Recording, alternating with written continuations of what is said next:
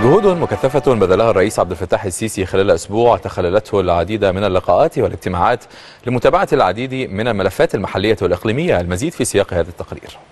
جهود مكثفة بذلها الرئيس عبد الفتاح السيسي خلال أسبوع على صعيد الملفات المحلية وعلاقات مصر بمحيطها الإقليمي. في بداية الأسبوع شهد الرئيس السيسي حفل افتتاح بطولة كأس الأمم الإفريقية في استاد القاهرة. وأكد في تصريحات له عقب مباراة مصر وزيمبابوي أن تنظيم بطولة إفريقيا رسالة بأن مصر تتعاون مع أشقائها الأفارقة. سلتنا من أول ما تولينا المسؤولية وقلنا إن إحنا آه اهتمامنا بأفريقيا بأشقائنا بكل القارة. وأنتوا شفتوا حجم الحركة وحجم الجهد وحجم التعاون مع أشقائنا والتنسيق يعني.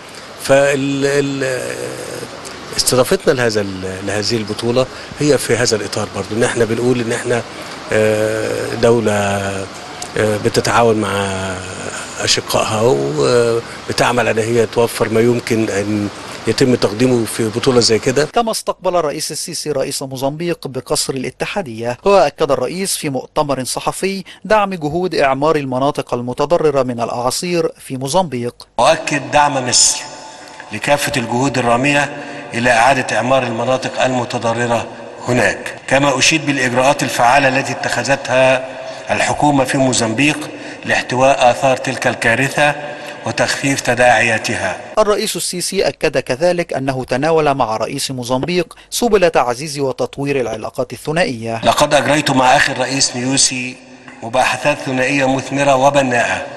تناولت بحث سبل تعزيز وتطوير العلاقات الثنائية بين بلدينا على مختلف المستويات السياسية والاقتصادية والعسكرية والأمنية. وعلى صعيد الملفات المحلية اجتمع الرئيس السيسي مع رئيس الوزراء ووزير البترول ووجه بمواصلة العمل في أنشطة البحث والاستكشاف في مجال التنقيب عن حقول الغاز والبترول وتوسيع رقعة مناطق الاستكشافات الجديدة. كما عقد الرئيس السيسي اجتماعا مع وزيري الآثار والسياحة ومساعد رئيس الهيئة الهندسية للقوات المسلحة ووجه بمواصلة العمل بمشروع المتحف المصري الكبير وضمان إدارته وتشغيله طبقا للمعايير العالمية. كما اجتمع الرئيس السيسي مع وزيرة الصحة ورئيس هيئة الرقابة الإدارية ومحافظ بورسعيد لاستعراض استعدادات البدء في تفعيل منظومة التأمين الصحي حيث وجه بضرورة التأكد من كفاءة الجوانب الخاصة بالمنظومة قبل تفعيلها. وعلى الصعيد الدولي استقبل الرئيس السيسي رئيسة الجمعية الوطنية الصربية مايا جيوكوفيتش مؤكدا تطلع مصر لتعزيز آليات التعاون الثنائي مع بلادها. كما استقبل الرئيس المبعوث الشخصي والمستشار الخاص لرئيس جمهورية غينيا بيساو مشددا على حرص مصر على استقرار الأوضاع السياسية فيها. كما استقبل الرئيس السيسي نظيره الغني مؤكدا أهمية مواصلة تعزيز التبادل التجاري والاستثمارات المتبادلة بين مصر وغانا. الرئيس السيسي استقبل كذلك المستشار الأمني لرئيس جنوب السودان مؤكدا حرص مصر على الاستمرار في تقديم مختلف صور الدعم إلى جنوب السودان ودعم عملية السلام هناك. واستقبل الرئيس السيسي مفوض الاتحاد الأوروبي لشؤون الهجرة مؤكدا اهتمام مصر بتعزيز علاقاتها بالاتحاد الأوروبي في مختلف المجالات.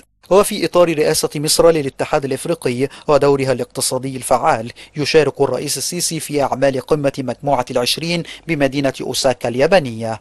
وأجرى الرئيس السيسي مباحثات مع رئيس وزراء اليابان حول تعزيز العلاقات الثنائية.